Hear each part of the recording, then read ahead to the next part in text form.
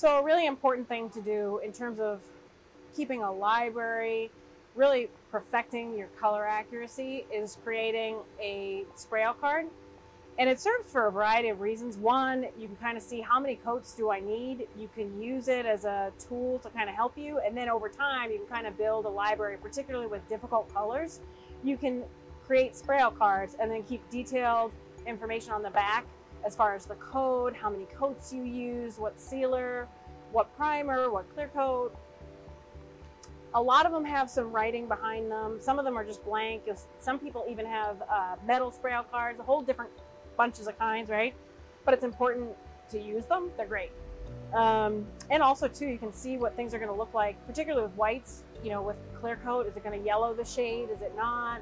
Um, I'm going to show you a little hack that I learned early on. And it's a little like, I don't know, kind of ghetto spray card holder, but it's the nuts. So you take one stick and then two halves. And basically you take two pieces. We're going to wrap it with tape.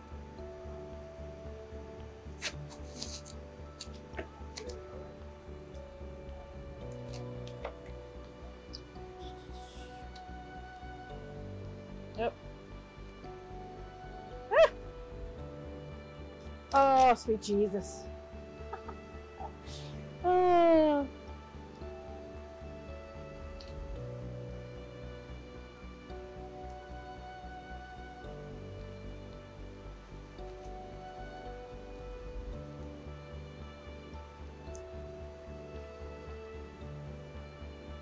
So what I did was I taped that half piece.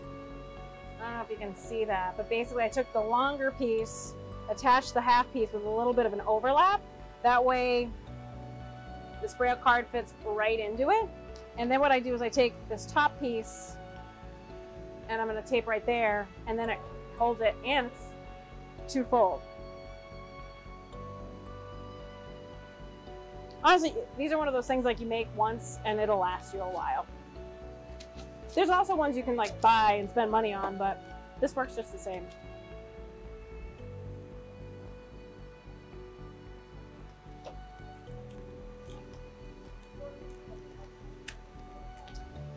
And the reason why you want a holder is like, if you don't have a holder, when you go to spray it, the paper is going to fall back because of the pressure of the gun. So by having a support on the back, it's gonna hold it nice and straight. It's not gonna go flying away on you.